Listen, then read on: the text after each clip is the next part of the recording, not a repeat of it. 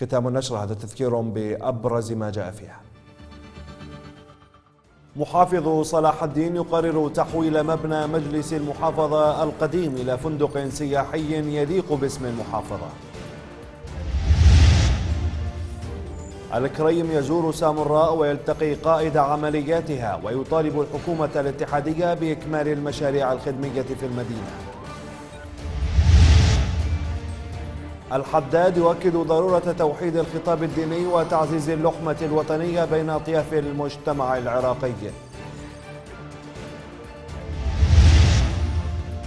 علاوي يدعو لموقف عراقي متوازن من العقوبات الأمريكية على إيران.